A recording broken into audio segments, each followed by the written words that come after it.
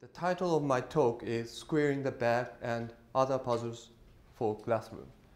Uh, by the way, uh, sometimes Japanese name, uh, names are tricky for you. in my case, um, uh, my uh, nickname, uh, Iwahiro, and my last name, Iwasawa, both include IWA, Iwa, but it really sounds like Yua.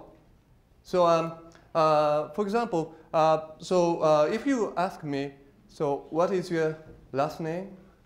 I answered, you are sour. So, uh, so may, you may think, so uh, why? Okay? okay, and, and uh, maybe um, I may, so my, my self-introduction may start from, hi, I am your hero, right?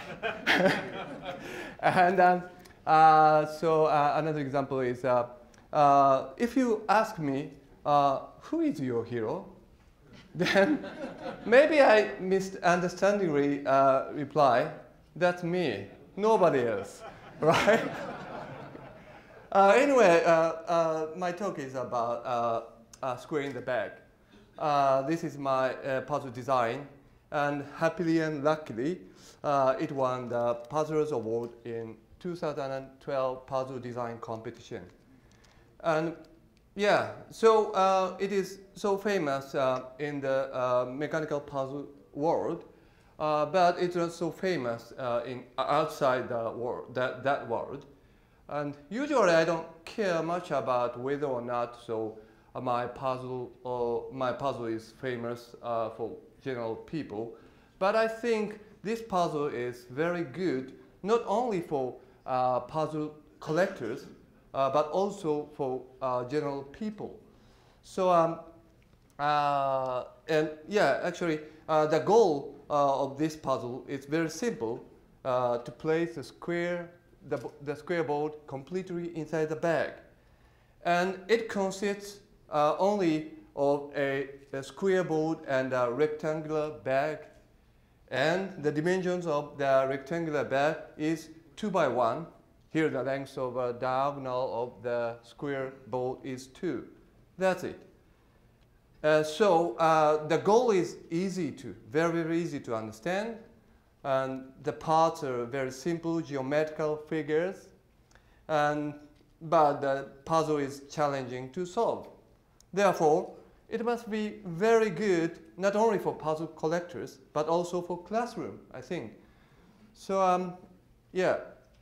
Uh, so I, would like yeah you uh, to copy so uh, so for your own so the use of course don't don't say it but uh, but uh, so but I want so teachers to use this puzzle uh, in their classroom. but there is a problem. it's not easy for most of us to solve a bag with precise dimensions, right? We should consider, uh, we should think about the materials.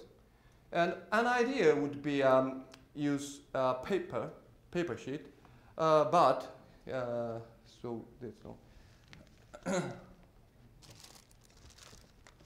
yeah, it's true that very easy to make like this, but um, actually, so um, paper is too hard for this part.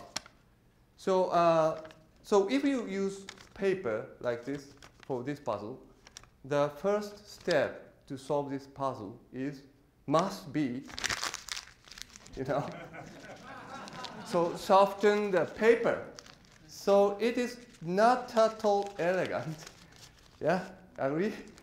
So uh, my, uh, my recommendation is this. So I recommend that you should use a, a strong plastic bag like this yeah, very cheap. You can, yeah, and um, uh, yeah, corrugated cardboard like this. Yeah, okay, and uh, so uh, first uh, you cut a two by one, yeah, okay, a two by one, two by one, okay, a rectangle from the bottom part of the bag, and second, cut an um, yeah uh, in that case, so, oh, oh, oh. yeah, here. and then cut an appropriate size square from the board. That's easy, right? So teachers can make very, very, easily. And yeah, that is complete, completed.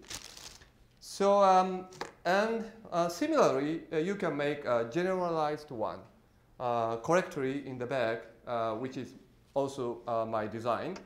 And it, it uses not a square board, but a rectangular board. Uh, plain boards would be very good for geometrical thinking, I think. Um, and yeah, its dimensions are as shown in the figure. And so maybe you can make, can you see? Maybe, no? Okay. Uh, so very tricky one. So it's, yeah, almost in the back, but no. Okay, can you see? Maybe no, right? okay, and um, uh, so if you want to go further, uh, there are many so relevant mathematical puzzles. And uh, this is one of them. It's very tough one. Uh, I read, um, uh, imagine a cover that perfectly fits a cube without any overlap or excess. Uh, it is removable as it has a zipper. And an example is shown in the diagram. Uh, the cube is rigid and the cover is made of some fabric that is sufficiently soft and thin but absolutely unstretchable. The zipper has only two endpoints. Uh, that is to say, um, it has no branches. The problem is, uh, what is the shortest possible length of the zipper, right? And it, yeah, it's really tough one. So, um, and uh, there are so relevant ones. So how about the corresponding problem for regular tetrahedron? Or how about for regular octahedron? Yeah. These are yeah, so uh, example uh, puzzles, mathematical puzzles, right?